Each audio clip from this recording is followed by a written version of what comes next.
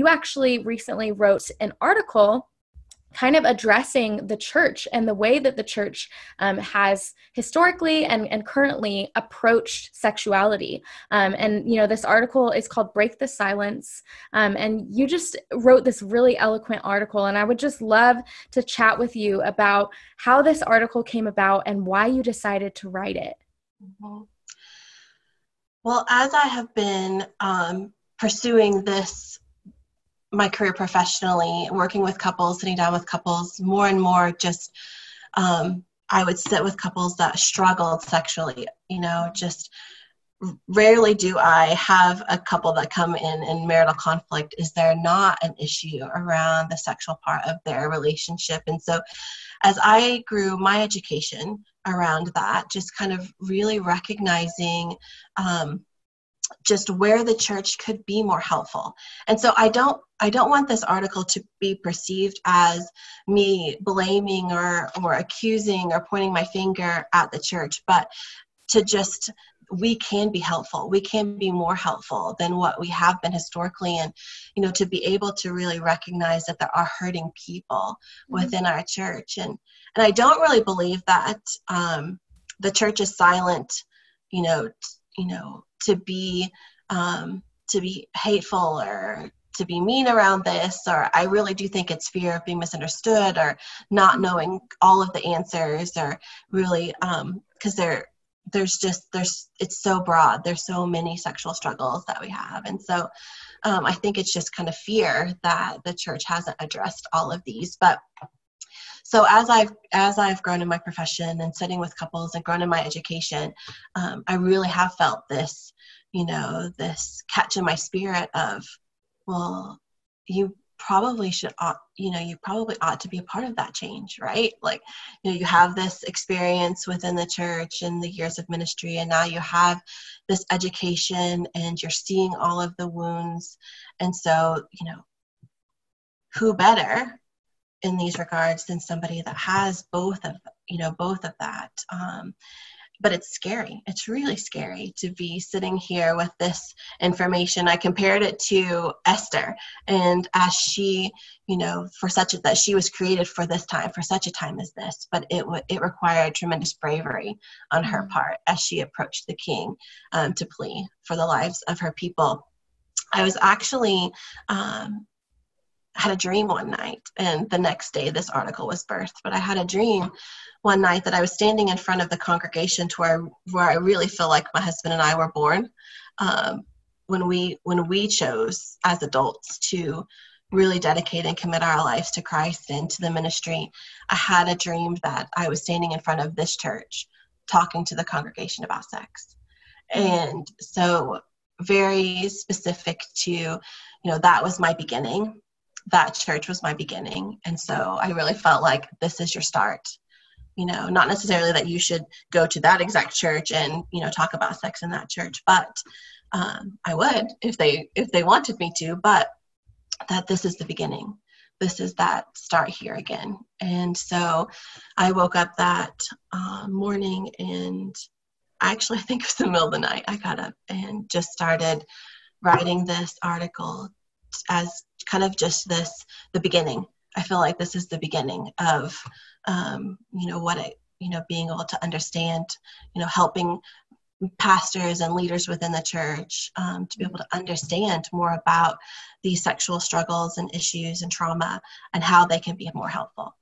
So mm, that's yeah, kind of how this article was birthed Yeah, no, absolutely. And I, I think, you know, I, I see myself in the story of the church, you know, struggling to address and to handle and, and um, understand sexuality. Um, and I know that a lot of people do. I, I think a majority of people in the church have questions about sex and sexuality that aren't being answered um, by the church. And so they're being answered elsewhere and sometimes not in good places, you know, and um, you talk about in your article, you know, God's the designer of sex. You know, if mm-hmm. anyone should be talking about it and celebrating it, it should be his people, you know? And so I think that absolutely I see, you know, Esther in this, you know, as just taking that courageous first step of saying, hey, we have a problem. Like people are being hurt because we're not talking about this. And, you know, you mentioned fear um, being a, a, reason that the church might be avoiding this conversation. What specifically would you say that they're afraid of? Mm-hmm. Well, I think that it is it is a a topic that hasn't been talked about and so it's are you going to be the first person? Are you going to be the like um, and it's that you know that fear being misunderstood or being misportrayed or not having all of the information. Or you know victoria it could be that the leaders or the pastors they're struggling themselves with you know sexual struggles or trauma or addiction or whatever. And so because you know i know um, from experience that just because you are leading a church does not mean that you are free of all of that, free of struggle, free of past experiences, you know, still being very relevant in your life. That um, I feel like there are a lot of people um, leading our church that would fall in this category of, you know, having sexual struggles. And so um, I think that that's, that's what I believe keeps a church silent. Yeah, yeah. What do you think um, about it being too late? You know, do you think that it's beyond repair? You know, it's been, of course, just historically, this is the way that it's always been, or felt like it's always been. You know, how do we repair this? Is it even possible to heal um, from this issue in the church? Yeah, I don't think, I think that uh, Jesus' example to us and his you know his gift of salvation tells us that that we, it, nothing is beyond repair right nothing Amen. is beyond yeah. you know um, redeeming and this is not either and so i think that it just takes a first step and another step and um, you know as i watch my couples be able to engage in a safe place with strong biblical foundation around issues around sexuality i know it's not impossible and so, because I am not apart from the church, when I'm sitting in my counseling sessions within my office or here online, like I am the church yeah. in that session right there. And so it's just, I'm just a small part of that. And so, how can we broaden that and expand that, um, move that, you know, f- with into more people receiving therapy because the churches know where to send them and also the church um, educating themselves to where they can provide um, education and you know some answer some questions around you know some topics that might not need professional care or assistance in. And I, so i think it is just you know um, these are our next steps is just figuring out you know how to educate and how to grow in that understanding yeah, you mentioned a few steps in your article moving forward, you know, how to address this, how to repair it. Um, and one of the ones that you mentioned is educating yourself, um, educating ourselves as the church. So, I mean, what are some practical ways to do that? Yeah yeah so pastors and leaders being able to reach out to you know people that are that dedicate their life to you know knowing this and teaching this and understanding the sexual struggles with that biblical faith foundation. Um, because there is a difference between secular sex therapy and christian sex therapy. There's mm-hmm. a big difference in that in what you read even. Um, and so there you know leaders and pastors you know really educating themselves knowing knowing what resources as far as people or books or things like that um, ministers and leaders doing their own work around um, sexual issues within their life. I think that um, from the from that first beginning with ron and i in ministry my husband walked in on our pastor one sunday morning really really early um, as he was going to help prepare for Sunday morning. And uh, our pastor walked out of the bathroom carrying the toilet brush, was going from one bathroom to the next bathroom. And my husband's like, Sir, what are you doing?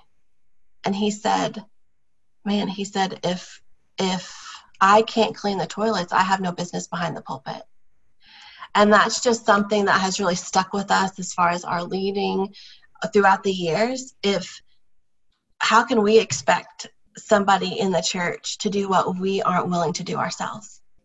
Mm-hmm. And so, um, you know, really just lead pastors and leaders, um, you know, getting getting the help that they might need around sexual struggles whether it you know what whether it be within their marriage or with addiction or you know whatever that might look like i think that that will be a huge catalyst to change you know and that vulnerability and you know in leading um, because much is required of our pastors and our leaders in that in that regard. My husband and i sought you know marriage therapy about 10 years in and it is something that we very frequent from the pulpit. You know ron talks about it all the time that you know what i do and what we did in that and you know his reservation of i'm the pastor. I give the therapy. I give the you know i give the counsel. I don't receive the counsel right? And that is unfortunately a lot of the you know um, the culture within the church that there there's it's not safe for pastors or leaders to um, you know be vulnerable around a struggle right and so just really opening up that safety for them to do their work knowing where to go to do that so that they can then lead um, their church on where to go to do their work or help them provide that. And I think it's really important too that our pastors know where their limits are. So they recognize, and you, and you know talking about boundaries with sexual trauma you know just mm-hmm. really recognizing that if you have somebody that comes to you that makes themselves vulnerable to you that discloses sexual trauma just really recognizing your boundaries in that and like your limitations um, and knowing where to send them for help knowing where mm-hmm. you can like ha- take them to receive the kind of really um, specific care that they need to help through that Right. Yeah. I mean, I don't know if there's, I mean, of course there's not, there's not like a, a, a book on, you know, exactly what not to respond to or what is too far or whatever. But, you know, would you just recommend, I mean, being discerning, you know, through prayer mm-hmm. in those moments? Like, you know, what's your recommendation mm-hmm. as someone who works in mm-hmm. ministry? Yeah. Well, I mean, as a therapist um, within my profession, I consult often. You know, I might think I know what to do with with a particular case or a particular issue, or I might think I might be in over my head. Well, I'm reaching out. I'm mm-hmm. reaching out to one of my colleagues, one of my coworkers, somebody within my field to say, hey, is this, you know, is this beyond me? Is this, or, you know, do I have this? And so I think with pastors, that's the same thing you know not being alone in that decision. You know if you if this is something that you that you don't have a lot of experience in or you know you don't know a lot about reach out reach out to a you know to somebody and you know have, have that accountability there um, to just recognize that you know um, we do have our limits in that position. There are there are limitations that we have and um, knowing who you know having those resources in play knowing who that we can um, refer to. Mm. Yeah, that yeah, that's good.